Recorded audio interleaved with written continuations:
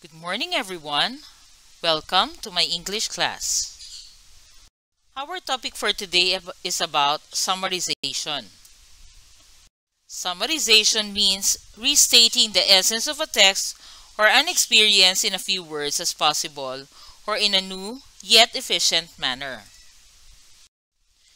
To summarize, it should be shorter than the text, use your own words and main ideas only.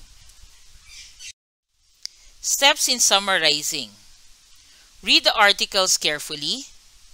Find the main idea and its supporting ideas.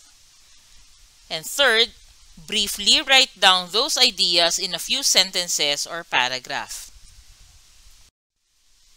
For your worksheets, read the stories The First Monkey and The Virtue of the Coconut. Write a summary of the given stories using your own words but not missing the important details of the story. Thank you for listening and stay safe.